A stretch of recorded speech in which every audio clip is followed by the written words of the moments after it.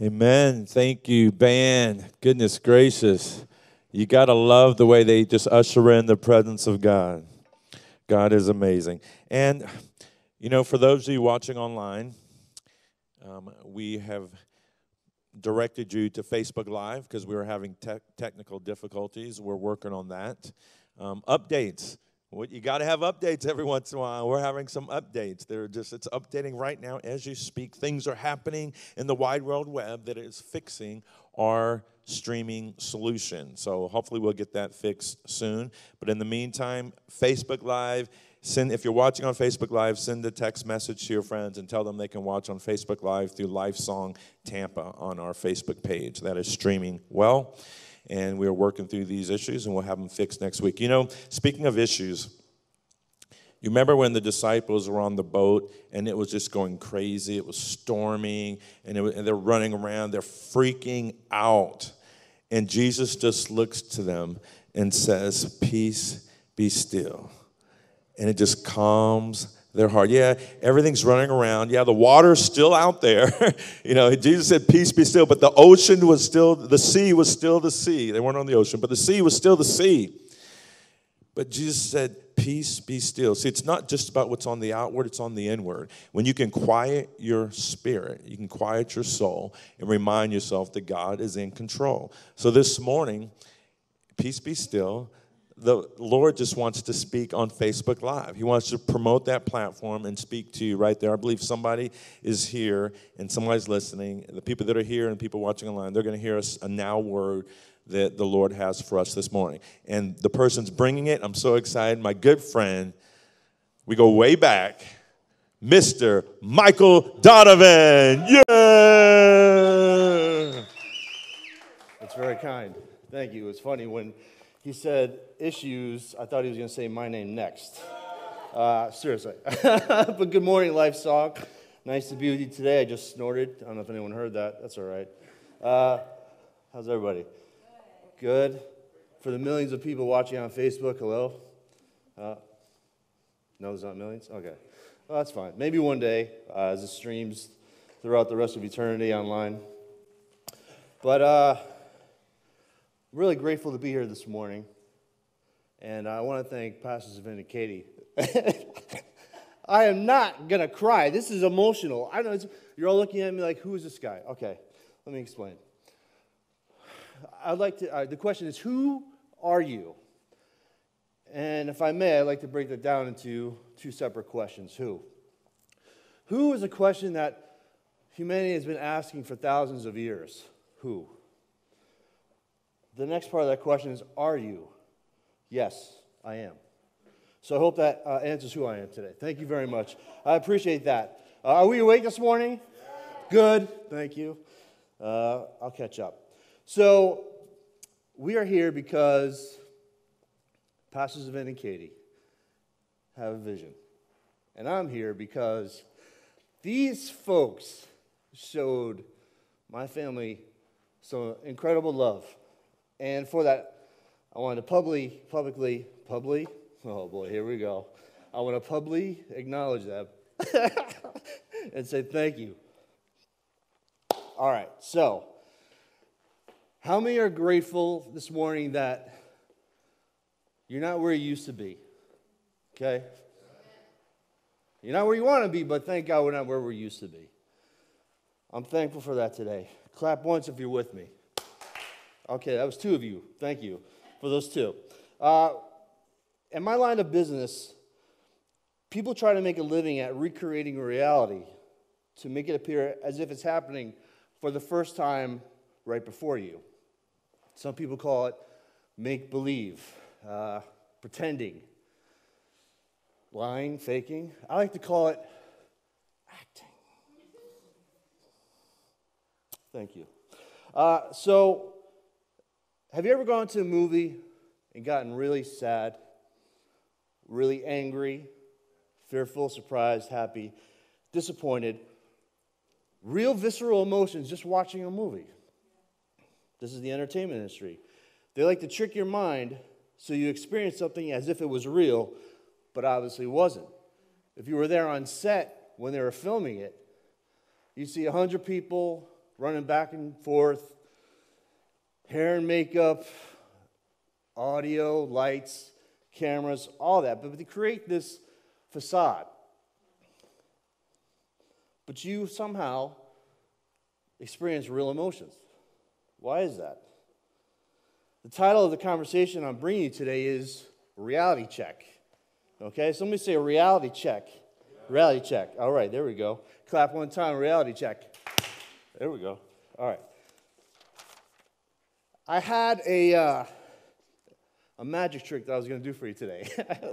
I know magic is uh, the wrong word for church. Illusion. Okay? I'm going to show up and start like levitating stuff, and it's not, not appropriate for church. So, an illusion is more of a better term. The illusion I was going to bring to you today is something you've probably seen some illusionists do. Everyone ever see someone bend a metal spoon with their mind? Right? This is interesting. How do they do that? Someone would say, wow, they got mental powers. Pretty impressive. No. Spoiler alert. The spoon's cut in half, and they're holding it right where it's broken. And so they let up a little bit, and the top of the spoon moves down. I didn't have a metal spoon to bring to you today cut in half. I would have had to have gotten a saw, and I've had to have gotten a spoon out of the drawer, and I don't think that would have gone over well. So, how about a plastic fork? Okay? So I sawed a plastic fork in half. Right? it's not here today because I ran it by my wife first. It looks stupid. Okay? so you have to just imagine in your mind plastic spoon that I just made bend and brought back. Thank you. For the people watching online, there someone was amazed over there. Appreciate that. Why is that? What is that called? I got a neuroscientific term for you. I don't think you've ever heard this before. I haven't. Amodal completion. Any uh, psychologists here? Neuroscientists? No, just me? Okay, that's fine. Uh, amodal completion. The definition is the ability to see an entire object despite parts of it being covered by another object in front of it. The bending spoon. It is one of the many functions of the visual system which aid in both seeing and understanding objects encountered on an everyday basis. In layman's terms, you can call it an optical illusion. Okay? If I had that spoon and you didn't know I cut, cut it in half, it just looked the last time I bent a spoon was like ice cream that was really hard, okay? There was no metaphysics involved. But if you were looking at that spoon and it just bended on its own, that doesn't make sense. Why? Well, because kind of I'm familiar with spoons, all right? That was not a fat or weight reference, okay? Thank you. That wasn't funny. That was not funny. So you have this spoon, you've been around all your life. It's metal. You know it just doesn't bend on its own. But you see somebody bend it. What is that? That's your mind playing a trick on you. Amodal completion is point A to point B. There's no break in between. It's a straight line. So it should not just bend on its own. Deductive reasoning. So if that's true, then something else must be true. This guy must be possessed with devils uh, because he's making things happen that shouldn't be happening. But that's where your mind goes. We were funny. We were driving to church today, past a bunch of billboards. Well, not a bunch. I don't want to lie from up here. There was a couple, maybe one. All right. I'm very sensitive. Uh, Screamageddon, okay? Orlando, whatever. All right. Anyone going to Screamageddon? Not me. Now, what is Screamageddon? It's this thing at the park, the amusement park, and they create this illusion of Like the supernatural. Okay, a bunch of demons and warlocks running around trying to scare you. That's not my idea of a good time, all right? But people go because they want that exhilaration of fear. They go for the experience. Their minds, they're, they're going to let you play a trick on their mind. They know it, but they can't stop the fear somehow. It just comes up. What is Screamageddon? Screamageddon is made up of Bob and Susie from accounting who like to play dress up on the weekend, put on the makeup and the hair, and they get into this character and they're like, ooh, and scream. And they create this illusion. Some of the funniest or most entertaining videos on YouTube are the prank videos. The one where they blindfold a friend and they drive him out and they think it's he's you know going off this bridge they put him on this platform and he thinks he's 100 feet in the air he's experiencing these emotions you see them on the video screaming crying please no don't i don't want to do this but in reality he's three inches off the ground that's funny. I'm sorry. nah, no one got, no one was hurt during the filming of the video. But anyways, so, and I don't want friends like that. Thank you very much. But they tricked him. But he was experiencing, or she was experiencing, these incredible visceral emotions. Why? Amodal completion, optical illusion, your mind playing tricks on you. What does this have to do with today and what I'm going to talk about? Let's go to the Bible. Numbers 13, 1 through 3. Start there. Got it up there? The Lord said to Moses, Send some men to explore the land of Canaan, which I am giving to the Israelites. From each ancestral tribe, send one of its leaders. So, at the Lord's command, Moses sent them out from the desert of Paran. All of them were leaders of the Israelites. These are their names. And if you want, for time's sake, I'm not going to read their names, but they're there.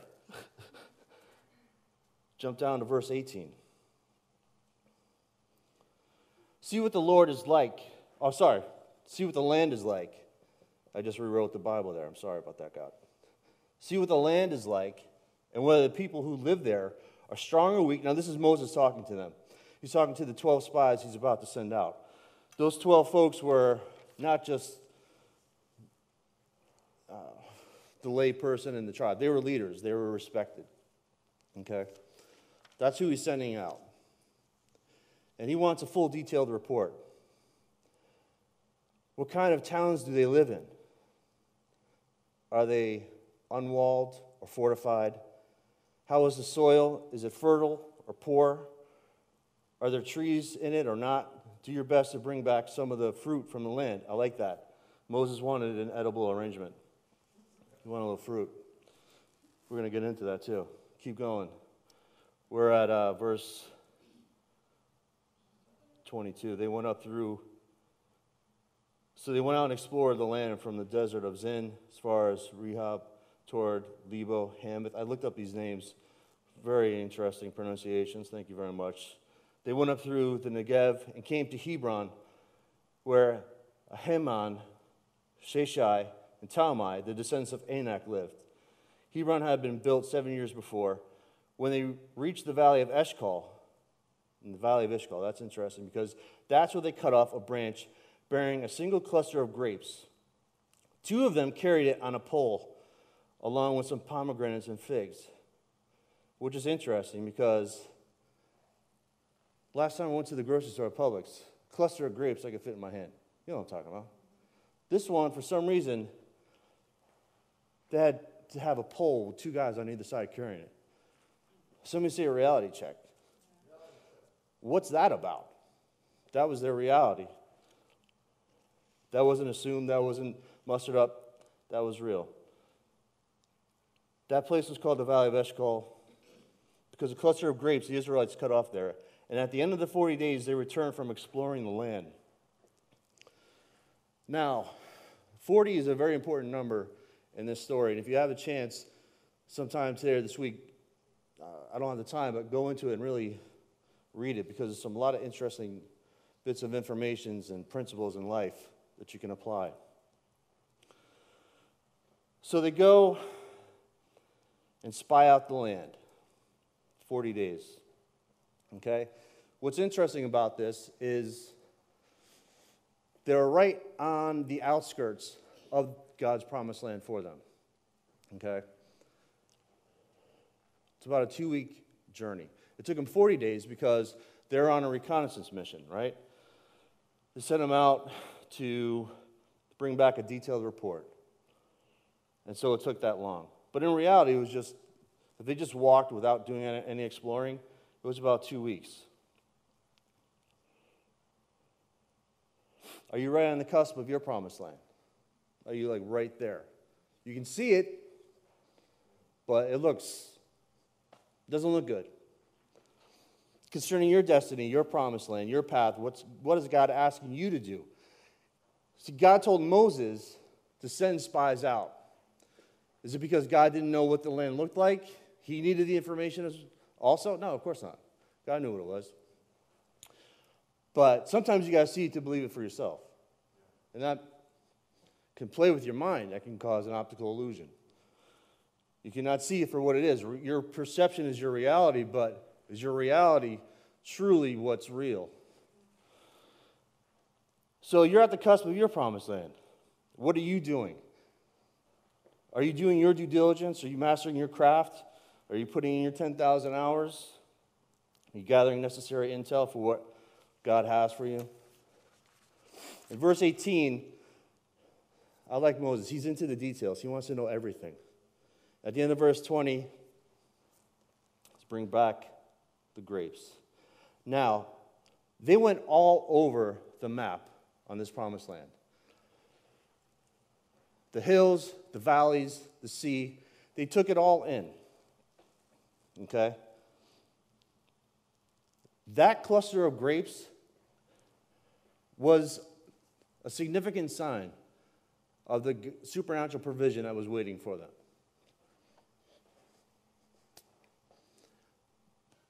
But they didn't really see it for what it was. Don't dismiss or explain away the supernatural provision of God in your life because it just doesn't look, yeah, it's significant. Yeah, it's like, it could be God, but I'm not sure. Because just previously, the Israelites came out of Egypt. They walked on dry land through the Red Sea. Ah, maybe it was low tide, you know? Maybe we could have walked anyways, even if Moses didn't lift his arms. Of course, Pharaoh was eventually going to let us go. I mean, come on. It would have happened anyways. Food falling from the sky happens all the time. That's not really supernatural, is it? But at the end of the 40 days, we're back. Okay, great. What do you got? Oh boy. What do you got? 27. They gave Moses this account. We went into the land to which you sent us, and it does flow with milk and honey. Here is the fruit. But the people who live there are powerful. The cities are fortified and very large. We saw the descendants of Anak there. The Amalekites live in the Negev, the Hittites, the Jebusites, Amorites live in the hill country, and the Canaanites live near the sea and along Jordan. Okay. They did what God asked them to do. They went and explored and they gathered the information. But now, how the information is processed. Don't you hate that? The but. Here it comes. But. Caleb silences the people before Moses and says, We should go and take possession of the land, for we certainly can do it. 12 spies, okay? 12 tribes. 10 brought back a bad report. Two, Joshua and Caleb, brought back the good report. 40 days. Why is 40 days significant in the story? Because the Israelites freaked out. The 10 had so much influence on the 2 million plus Israelites that they all turned and said, We're going to die. They're going to eat our women and children. They're everywhere, okay? This is not good, Caleb. Stop, okay? Come on, really. Let's be serious. All right, come, serious. look, you saw what I saw. For some reason, Joshua and Caleb said, We can do it. And that would come back and hurt Israel really bad. God was displeased with their lack of faith and their trust in Him. Now, it wasn't just like they went on their own. God said, This is the land I'm giving you. God was in it. The Amalekites, the Hittites, the Jebusites. Our pets' heads are falling off. I didn't know one got that reference. it's from a movie. Everything that could go wrong or look wrong, they're seeing it for what it is. Reality check. Is that truly their reality? They're bigger than us, okay? They're, they have walls, and they're really big walls. The sons of Anak, anyone a fan of Star Trek or anything like that? Borgs, okay? These are some Borg looking dudes. These are not like you and me. These are like freaks of nature creatures coming out, okay? Like Thor, all right, those dudes from the other planet, like that's what they're looking at and seeing.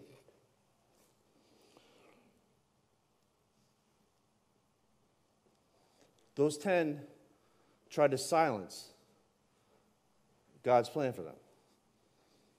They looked at it and they said, We can't do it.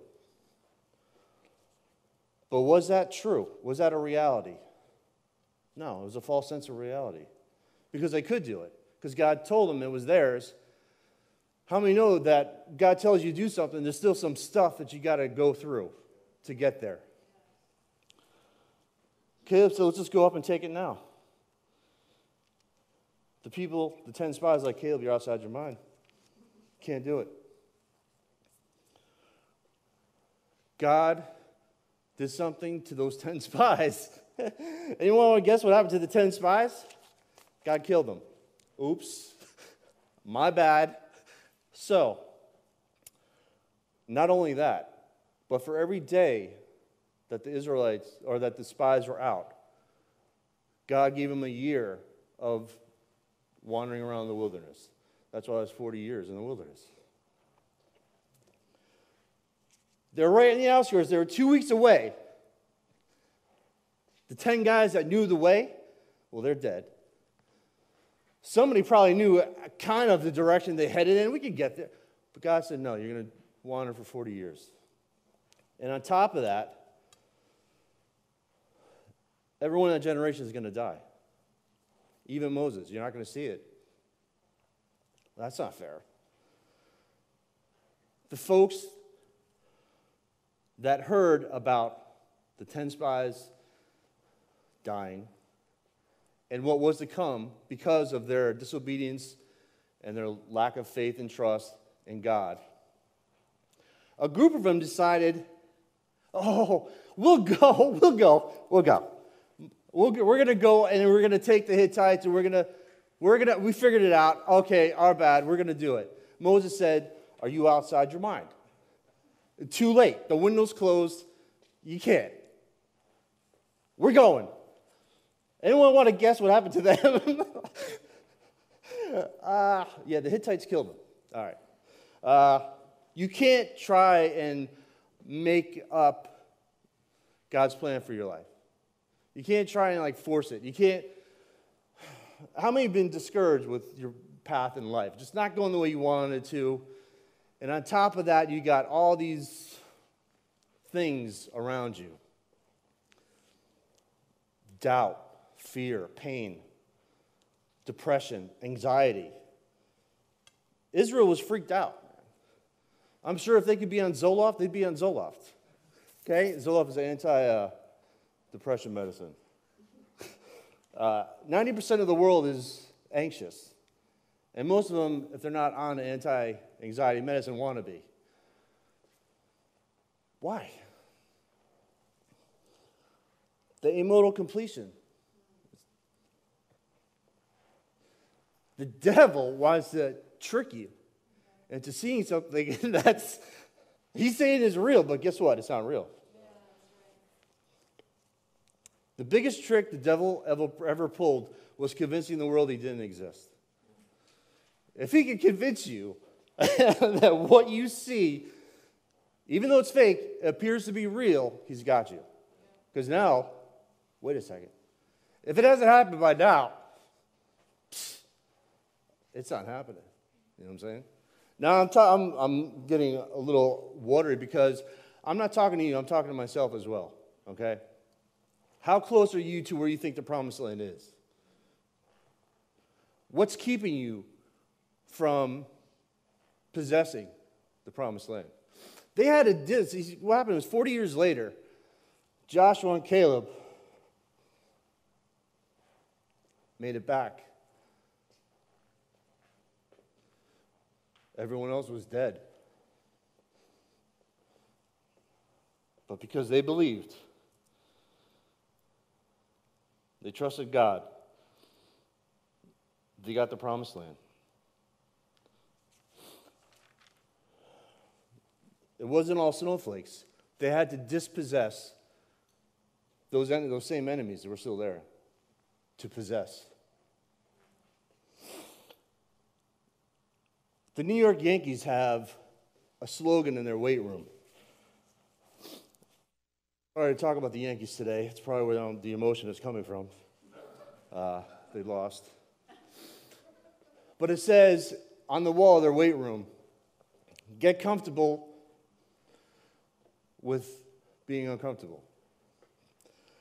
If you know anything about the Yankees, they're the most winningest sporting franchise in all of history so far. That's probably going to change. there is work to be done.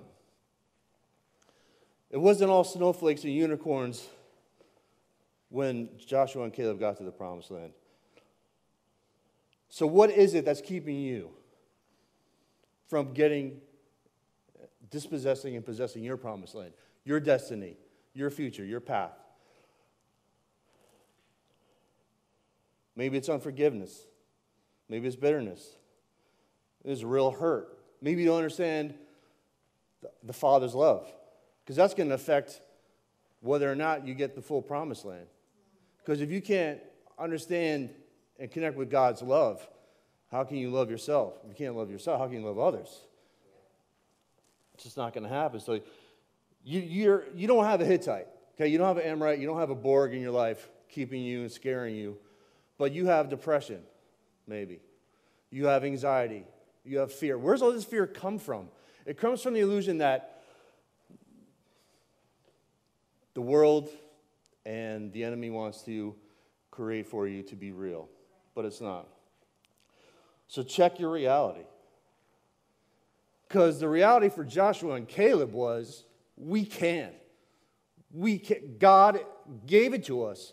We can do this. If you don't incorporate and understand who God is and who He is and wants to be in your life, you'll never get to be able to see the promised land. You'll always be right on the outskirts. Just why, why, why? Complaining about why you're not there, complaining why so and so is getting ahead and you're not. Sometimes it's just as simple as believing.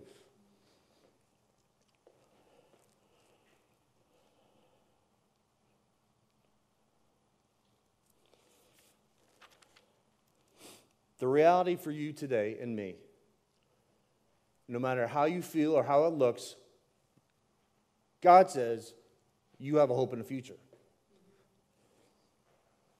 The enemy says you can't get over that wall.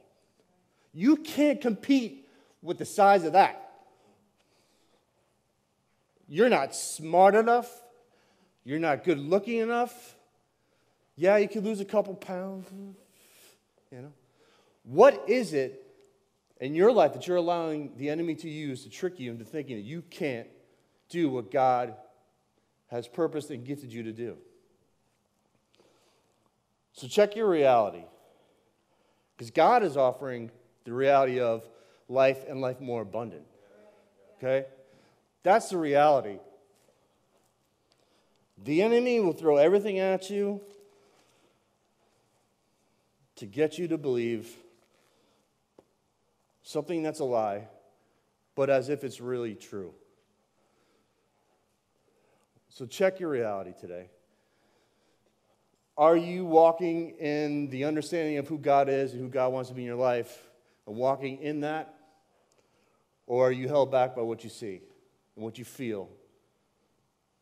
So, my prayer is that today we'll get a little bit closer to the promised land. We'll challenge ourselves to check what is real and what's not in our lives, what's a lie from the enemy, and what's something that we have to work on ourselves.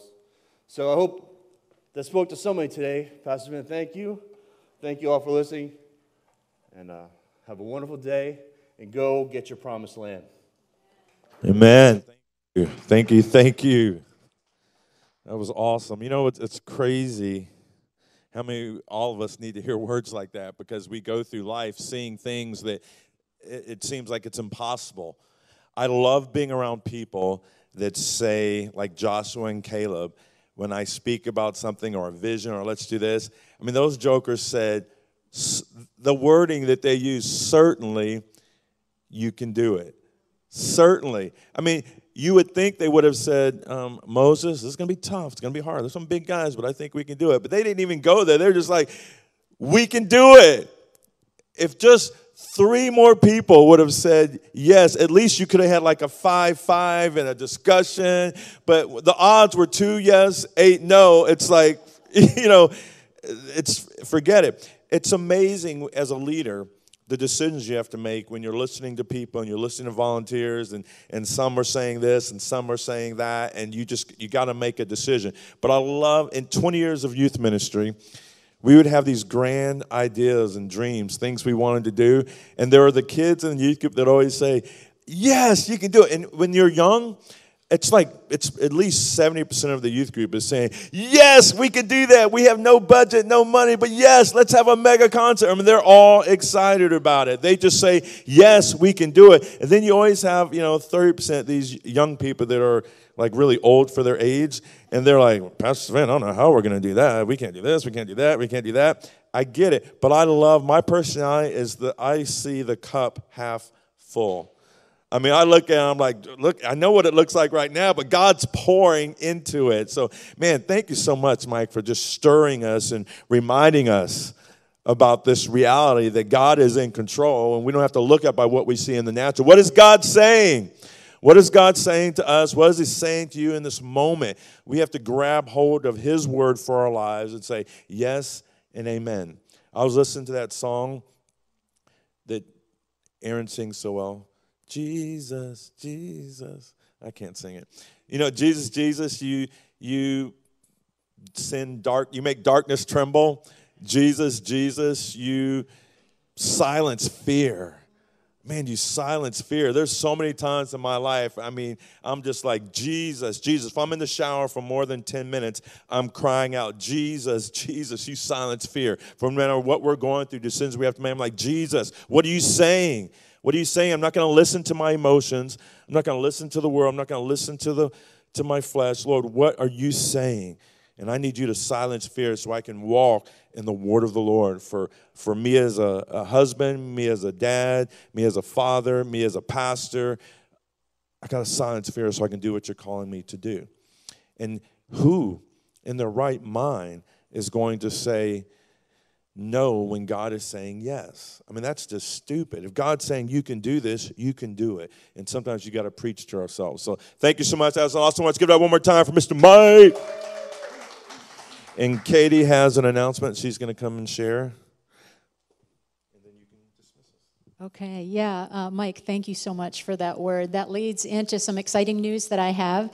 Deborah Cruz and I are going to be uh, doing a Bible study in two weeks on the power of prayer. We're going to be teaching on how to pray both strategically and biblically, and how to fight our battles first in prayer. You'll need to purchase this book, The Battle Plan for Prayer. It's written by the Kendricks brothers and inspired by the amazing movie, The War Room, which we'll be watching at the culmination of our study. Uh, we'll be starting this in two weeks, which is October 24th at Deborah's home, about 10 minutes from Lifesong Church. And we will be having it from 10 to 11 ish. And if you would like to experience the transformational power of prayer, give me a call to sign up at 813 748 1715, or you can go to our website and contact us that way. If you can't attend but would still like to be a part, you can do that as well. Just contact me. Uh, after service, as always, Julie has a video for the kids that you can go ahead and watch that. And tonight at 7 p.m., she will have a Zoom call for the middle schoolers. All right, you guys have an amazing week. Remember to love out loud, and we will see you next Sunday.